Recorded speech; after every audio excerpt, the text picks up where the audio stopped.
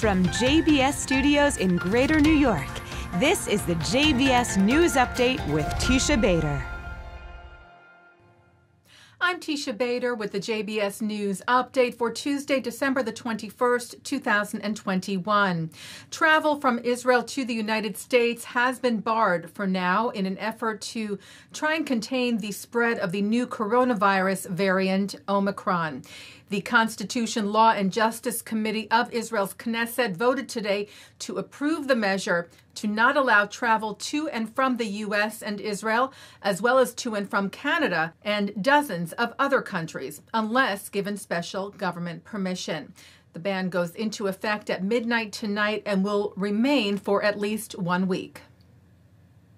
Israel's Pandemic Information Center, meanwhile, shared that Sheba Medical Center, Israel's largest hospital, will be conducting an unprecedented study to examine the effects of a possible fourth booster vaccine on the level of antibodies in 200 volunteers.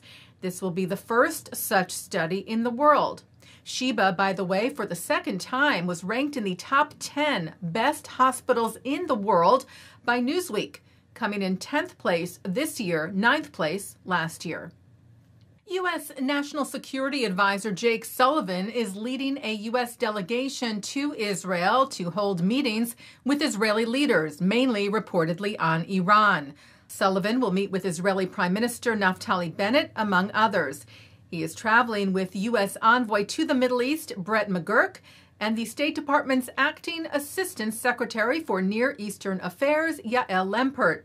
The group will also meet with Palestinian Authority President Mahmoud Abbas in Ramallah. A delegation of United Nations ambassadors continue their Israel visit this week.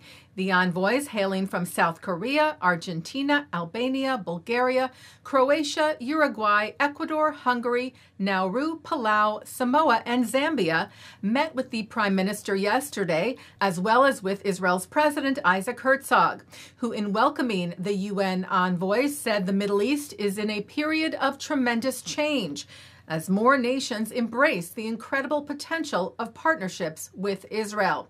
The UN, he stressed, must encourage this positive momentum for the sake of global peace and security.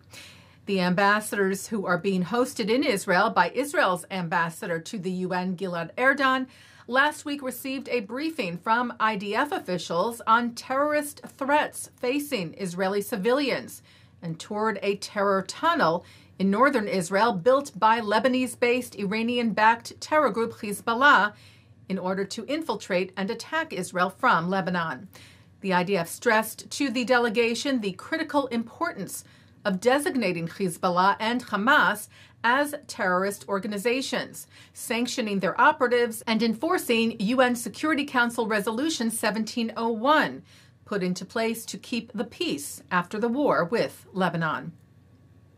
18 year old Israeli swimmer Anastasia Gorbenko won a second gold medal this weekend in the World Swimming Championships taking place in Abu Dhabi.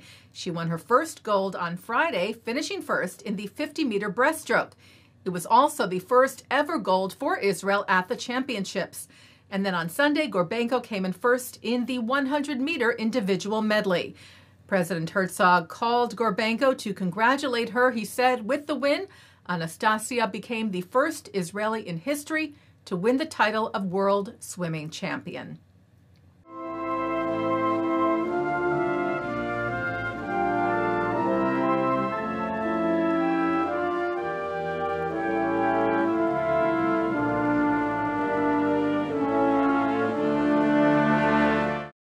Taking a look now at our programming for tonight on JBS for Tuesday, December the 21st. At 7, Rabbi Ammiel Hirsch discusses how public confidence has eroded when it comes to the critical institutions of the media, the courts, schools, churches, and synagogues. At 7:30, Israel in the Biden-Bennett era is discussed by a panel that includes Michael Doran, Jonathan Schanzer, Tammy Ben Haim, and Ben Samuels. At 9, Mark Golub sits down with Rabbi Burt Visotzky on L'chaim. At 10.30, Ellie Cohanim sits with former U.S. Ambassador to the UN, Nikki Haley, and then with talk show host Mark Levin on Global Perspectives. And coming up next, it's the ILTV's Insider. And that's the JBS News update for Tuesday, December the 21st, 2021. I'm Teisha Bader. Stay healthy, stay well.